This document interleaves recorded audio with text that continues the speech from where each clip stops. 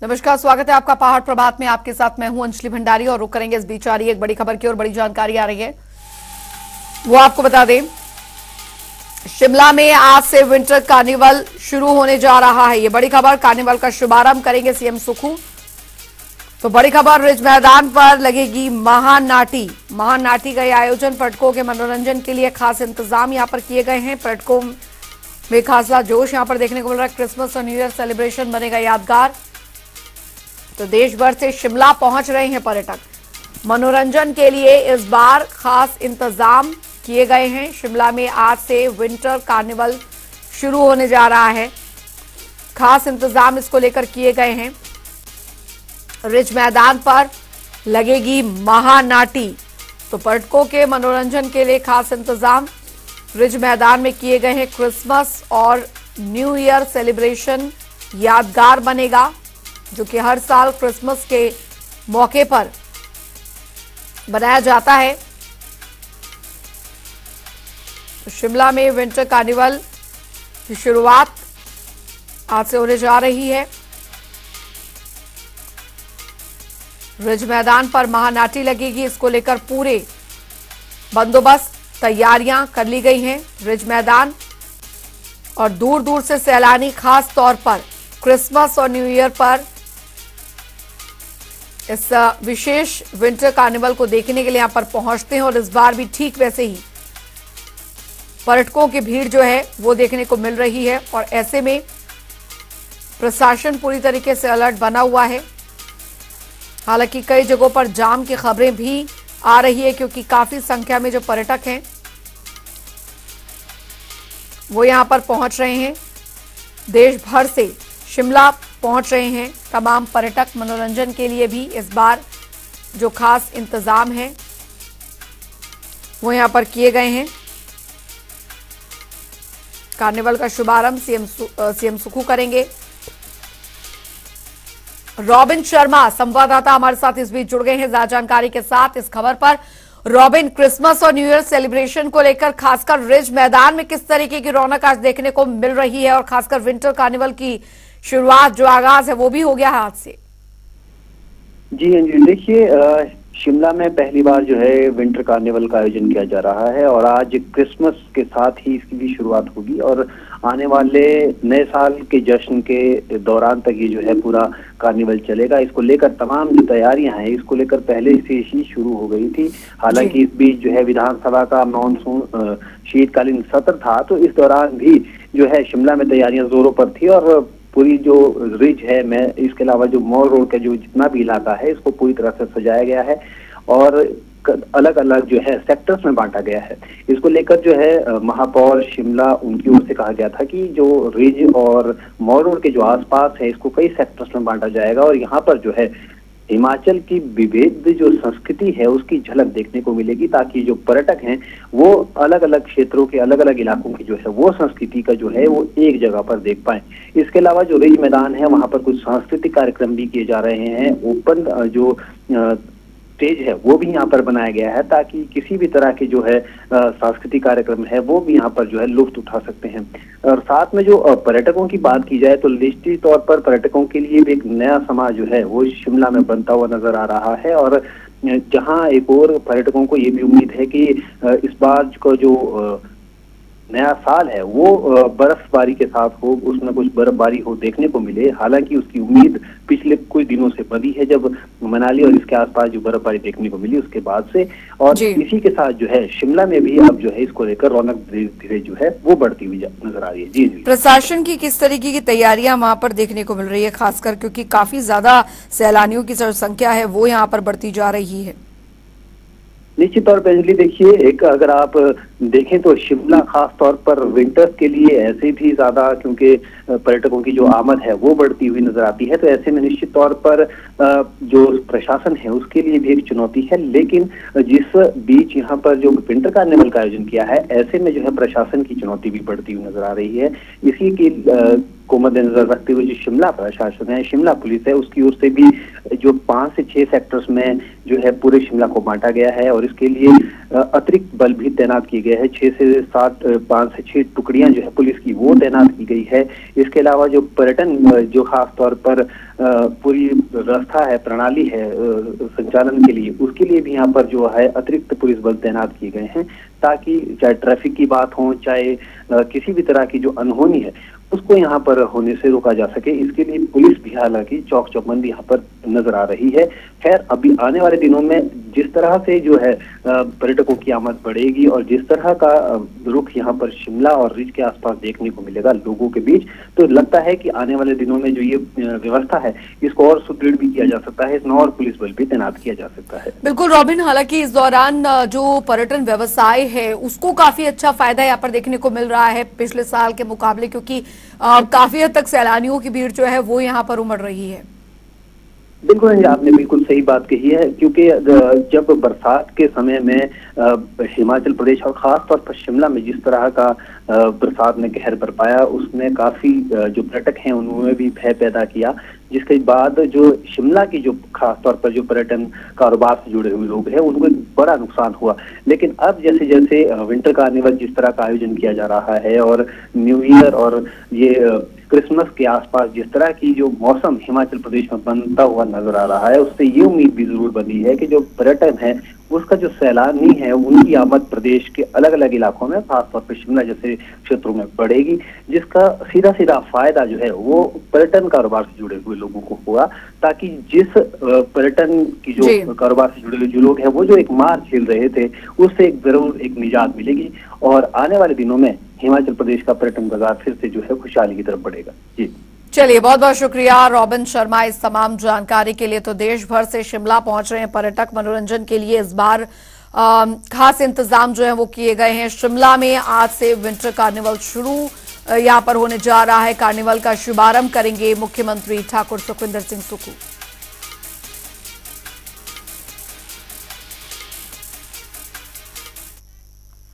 आगे बढ़ेंगे एक और बड़ी खबर की ओर करेंगे। बड़ी जानकारी आ रही है ऊना से। आपको बता दें, इस अक्टूबर 2023 का आठवां अंतर्राष्ट्रीय सम्मेलन। ये इस वक्त की बड़ी खबर। सीएम सुकू के सलाहकार ने इसका शुभारंभ किया है। सलाहकार गोकुल बुटेल ने इसका शुभारंभ किया है। सॉफ्ट कंप्यूटिंग से संबंधित सम्मेलन का ये शुभारंभ किया गया है। तो विभिन्न संस्थाओं के प्रोफेसर इसमें मौजूद रहे। 26 दिसंबर तक जारी रहेगा ये सम्मेलन। जो ऊना है, ये एक प्रीमियर इंस्टीट्यूशन है हमारे स्टेट हिमाचल प्रदेश का और आज इनकी सोकटा टेक्निकल कॉन्फ्रेंस थी इंटरनेशनल कॉन्फ्रेंस थी। उसका भाग लेने का मुझे मौका मिला है। 2014 में ये सैंक्शन हुआ था और स्टेट गवर्नमेंट ने फाइनेंशियल कंट्रीब्यूशन के साथ साथ लैंड की भी कंट्रीब्यूशन स्टेट के लिए दी है।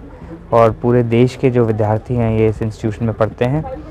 और अभी मैं एक और बात बताऊँ कि हमने, क्योंकि जो हमारे प्रदेश के स्टूडेंट्स हैं, क्योंकि ये सेंट्रल इंस्टीट्यूट है और जेई से भर्ती होते थे तो हम हम स्टेट गवर्नमेंट ने ये मुख्यमंत्री और माननीय उप मुख्यमंत्री जी ने ये देखा है कि कैसे जो हमारा हिमाचल प्रदेश का युवा है, उसे इस इंस्टीट्यूशन का भरपूर फ़ायदा मिल सके।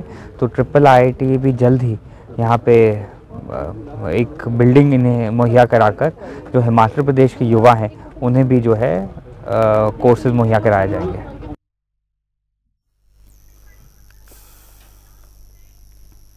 आगे बढ़ेंगे एक और बड़ी खबर आ रही है, बड़ी जानकारी चंबा से आ रही है। चंबा से बड़ी खबर इस बीच। चंबा से इस वक्त की बड़ी खबर, बड़ी जानकारी, पांगी किलाड़ रूट पर खाई में गिरी गाड़ी। बड़ी खबर, गहरी खाई में गिरने से तीन लोगों की मौत, ये दर्दनाक हादसा हुआ है। तीन मृतकों में एक महिला भी शामिल है। तो पांगी से कुल्लू की ओर जा रही थी ये गाड़ी, जिस दौरान यह हादसे का शिकार हो गई। बड़ी खबर, चंबा से इस वक्त की बड़ी खबर आ रही है। पांगी किलाड़ रूट पर खाई में गिरी गाड़ी। गहरी खाई में तीन, गिरने से तीन लोगों की मौत हो गई है। तीन मृतकों में एक महिला भी शामिल है। जो जानकारी आ रही है, पांगी से कुल्लू की ओर जा रही थी ये गाड़ी, जिस दौरान ये हादसे का शिकार हुई है। तो दर्दनाक हादसा पांगी किलाड़ रूट पर हुआ है। गहरी खाई में गिरने से तीन लोगों की मौत हो गई है। तीन मृतकों में एक महिला भी शामिल बताई जा रही है। ये बड़ी खबर आपको बता दें, पांगी से कुल्लू की ओर जा रही थी गाड़ी। चंबा से इस वक्त की बड़ी खबर आ रही है। पांगी किलाड़ रूट पर खाई में गिरी गाड़ी। यह हादसा हुआ है, वजह अभी तक स्पष्ट नहीं हो पाई है। हादसे की वजह क्या रही?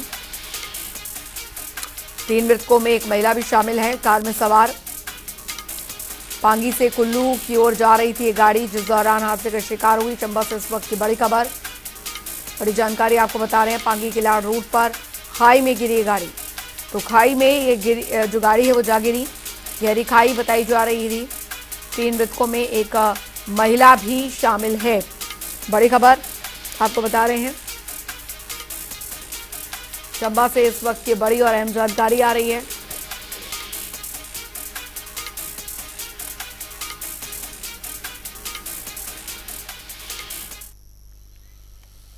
खबरों में आगे बढ़ेंगे, उधर आपको बता दें कि बिलासपुर में दो दिवसीय उनतालीसवा राज्य स्तरीय युवा उत्सव शुरू हो गया है और इस उत्सव में सदर के पूर्व विधायक का बंबर ठाकुर ने बतौर मुख्य अतिथि शिरकत की। मुख्य अतिथि बंबर ठाकुर ने दीप प्रज्वलित कर उत्सव का आगाज़ किया। साथ ही इस युवा उत्सव में प्रदेश के 10 जिलों के करीब 450 प्रतिभागी भाग ले रहे हैं। वहीं आपको बता दें कि खेल अधिकारी रविशंकर मुख्य अतिथि को शॉल और टोपी और स्मृति चिन्ह देकर सम्मानित किया और इस युवा उत्सव में विभिन्न सांस्कृतिक प्रतियोगिताएँ होंगी। आज युवा सेवा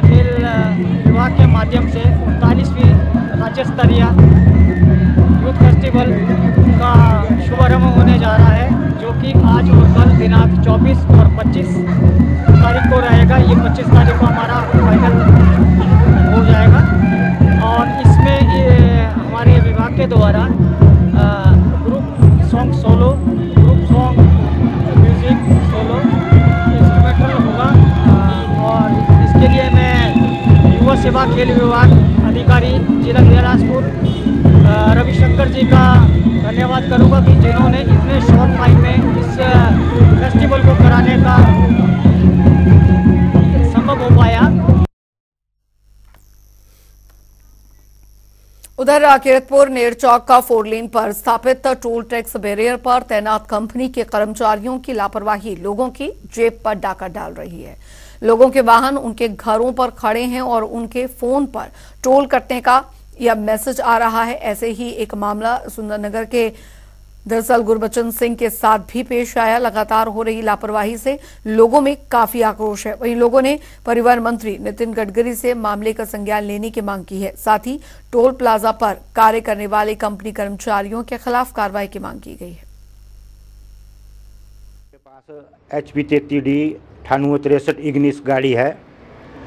मुझे कल शाम को करीबन सात बजकर पचास मिनट पर मैसेज आया कि आपके फास्टैग से जो है एक सौ पचास रुपये काट लिए गए हैं, जबकि मेरी गाड़ी और मैं घर पर ही था। ये आम लोगों के कई आदमियों से, शिकायत मिल रही है। मेरा केंद्रीय भूतल परिवहन मंत्री श्री गडकरी जी से निवेदन है कि वो इस बारे में खुद संज्ञान लें और मामले की छानबीन कराएँ तथा लोगों को लूटने से बचाया जाए। उधर आपको बता दें कि मंडी में बरसात के सीज़न के दौरान दरअसल भारी बारिश के कारण आई आपदा से 25 स्कूल पूरी तरह से क्षतिग्रस्त हुए हैं। इनमें से कुछ स्कूल तो धार्मिक स्थलों सहित निजी भवनों में चलाए जा रहे हैं, जबकि कुछ स्कूलों के लिए कहीं पर भी जगह न मिलने के कारण बच्चे खुले, आसमान और तंबू के नीचे शिक्षा ग्रहण कर रहे हैं। अब स्कूल प्रबंधन समिति ने सरकार से जल्द से जल्द स्कूल का भवन बनाने की मांग की है, ताकि बच्चों को पढ़ाने में दिक्कतों का सामना न करना पड़े। स्कूल में जो अभी यहाँ जैसे ये बिल्डिंग कंस्ट्रक्शन का काम है, ये बिल्कुल धीमा है। इसमें सरकार का कोई ध्यान नहीं है। और, स्थानीय लोग या हम लोग ये चाहते हैं कि यहाँ जो है अच्छी तरह से दोबारा जैसे भी पीछे कहा गया था कि यहाँ फैब्रिकेटेड जो है बिल्डिंग का कंस्ट्रक्शन का निर्माण किया जाएगा, वो जल्दी से जल्दी हो। क्योंकि मेरे ख्याल में मुझे लगता है कि अभी पीछे कुछ एक प्रयासों से जो स्कूल के नाम ज़मीन भी हो गई है और सारा यहाँ, जल्दी से जल्दी यहाँ कंस्ट्रक्शन करने की ज़रूरत है और ताकि बच्चों का जो है पढ़ाई ठीक ढंग से सुचारू रूप से हो। और आने वाले टाइम में यहाँ जो अभी बोर्ड के एग्ज़ाम भी होंगे, बच्चों के जो एग्ज़ाम होंगे तो उसमें भारी दिक्कत आएगी और सब बच्चों के लिए बड़ी मुश्किल है। सरकार से यही मांग रहेगी कि जैसे कैसे जल्दी से जल्दी इस पे ध्यान दिया जाए और हमें कुछ पैसा मुहैया करवा के डिपार्टमेंट या किसी भी तरह से यहाँ स्थायी या अस्थाई तौर पे कुछ एक शेड बना के बच्चों के भविष्य जो है, सुनिश्चित अच्छी तरह से जो ठीक किया जाए। उधर देश की संसद से विपक्ष के 146 सांसदों के निलंबन का मामला अब देश भर में लगातार तूल पकड़ता जा रहा है। दरअसल सांसदों के निलंबन पर चंबा में कांग्रेस पार्टी ने बीजेपी पार्टी की दमनकारी नीतियों के विरोध में जमकर धरना प्रदर्शन किया। इस मौके पर कांग्रेस पार्टी के जिला अध्यक्ष कमल ठाकुर ने केंद्र की बीजेपी सरकार पर हमला बोलते हुए कहा कि आज समूचे चंबा ज़िले से कांग्रेस पार्टी के कार्यकर्ता उन सांसदों को निष्कासित किए जाने के विरोध में सड़कों पर उतरे हैं। कमेटी के आह्वान पर हम यहाँ जिला कांग्रेस कमेटी चंबा और साथ में हमारी ब्लॉक कांग्रेस कमेटी चंबा हमारे यहाँ ब्लॉक कांग्रेस कमेटी के अध्यक्ष करतार जी, हमारे प्रवक्ता हंडा जी और हमारे जिला कांग्रेस कमेटी के सभी माननीय सदस्य यहाँ महिला कांग्रेस कमेटी की हमारी प्रधान, उनके माननीय सदस्य, हम सब लोगों ने यहाँ आज जो 146 सांसद निलंबित किए हैं मोदी सरकार ने, उनके विरोध धरना प्रदर्शन किया। ये बिल्कुल तानाशाही रवैया और हिटलर का रवैया है कि हमारे सांसदों को निलंबित किया गया है। दोनों हमारे राज्यसभा से भी और लोकसभा से भी 146 सांसद जो हैं, वो निलंबित कर दिए गए हैं। ये एक ऐसा संदेशा है कि यहाँ भारतवर्ष में लोकतंत्र इससे पहले कभी भी ऐसा काम या इतने सांसद निलंबित नहीं किए गए। ये मैं समझता हूँ कि लोकतंत्र की हत्या है और जब तक ये सांसद का निलंबन वापस नहीं लिया जाता। हमारी कांग्रेस पार्टी जो निर्देश हमारे हाईकमांड के होंगे, उसके अनुसार हम धरना प्रदर्शन करते रहेंगे। और चलिए इसी के साथ पहाड़ प्रभात की खबरों में अभी के लिए फ़िलहाल इतना ही। वक्त एक छोटे से ब्रेक का।